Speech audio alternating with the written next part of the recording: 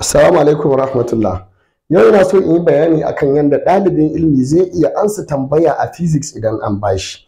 Wasu hanyoyi ne guda shida zuwa bakwai waɗanda duk ɗalibin ilimi idan an bashi tambaya a physics alal akalla idan ya bi waɗannan hanyoyin zai samu sauƙin warware wannan matsala da aka bashi. Hanya ta farko ɗalibin ilimi ya rubuta ya rubuta data given ko solution. Wannan ita ce hanya ta farko. Ka rubuta data given ko ka rubuta solution. Bayan ka rubuta data given ko ka rubuta solution sai ka zo hanya ta biyu.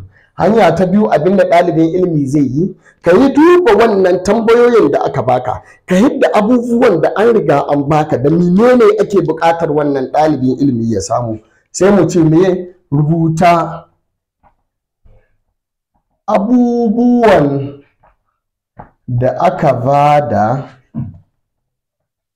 da wanda ake nema shine hanya ta uku. Ta biyu abubuwan da aka ba da da abin da ake nema. Hanya ta uku da ka rubuta abubuwan da aka ba da da abubuwan da ake nema a physics zai yi ma sauƙin ka tuna ya fomular abin take. Kowa ya san formula. Idan ana magana physics za a ce ma formula force yanda ake samu force yanda ake samu energy yanda ake samu power formula. Mun riga mun san force equals to mass times acceleration. Uh, velocity is equals to displacement all over time. Acceleration this uh, velocity all over time. All those kinds of formula duka waɗannan formula. Da ka fitar da abubuwan da aka ba da ka fitar da abubuwan da ake nema zai yi ma sauƙi ka tuna ai wannan formula ita ce daidai da ya dace in yi aiki da ita a wannan wannan wuri. Shine hanya ta biyu. Ta uku sai mu ce ni rubuta formula. Wannan ba za mu canza shi ba rubuta me? Formula. Formula. Bayan ka rubuta wannan formula wannan gundarin abin da za ka nemo sai ka duba shin abin da ake nema shine na farko shine ake ce ma subject of the formula. Shine shugaban abin da kake nema ko kuma in ba shi ba ne sai ka canza.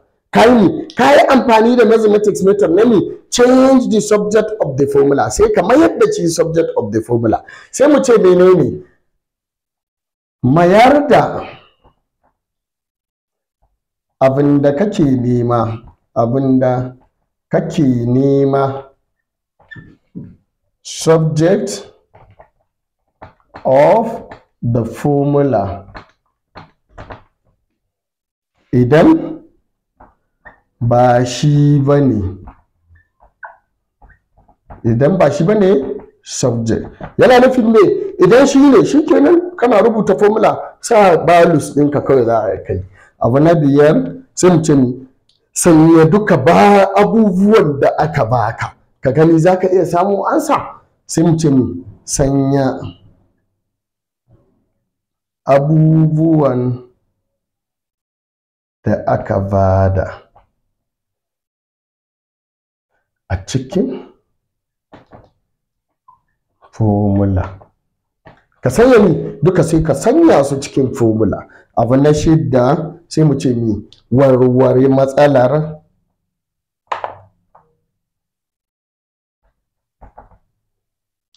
Warware matsalar. Cikin kawai daga nan me za ka yi? Sai ka warware matsala bayan ka yi wa'annan insha Allah duk ɗalibin ilmi ya bi wa'annan steps ɗin guda shida da iznillahi ko ƙaƙa ne. Na farko ya taimaki kanshi idan ya rubuta min abubuwan da aka ba da da wanda ba a ba da ba zai yi mai sauƙin tuna formular da a daidai da wa'annan abubuwan. A misali ana neman force. An baka mass. An baka acceleration. Ai ka san bayan ka rubuta wa'annan zai ma sauƙi tos ake nema.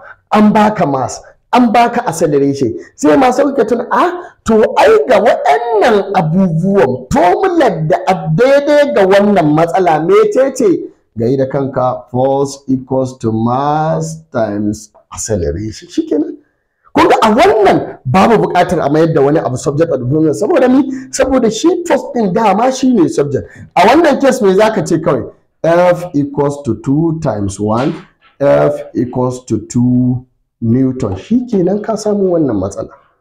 So shi yasa duk lokacin da ka hitar da data given ɗinka zai ma sauƙi ka tuna formula. Abin da yasa na ba da wa'annan steps duka examples ɗin da za mu ci gaba da solving na matsalar physics insha Allah wa'annan steps ɗin za mu dinga bi. A hakan za ku gane. Kar ku manta ku yi subscribe da channel ɗina ku latsa ƙararrawa saboda samun videos ɗinmu a kowane lokaci. Idan kuna da comment ku yi dropping comment. Na gode.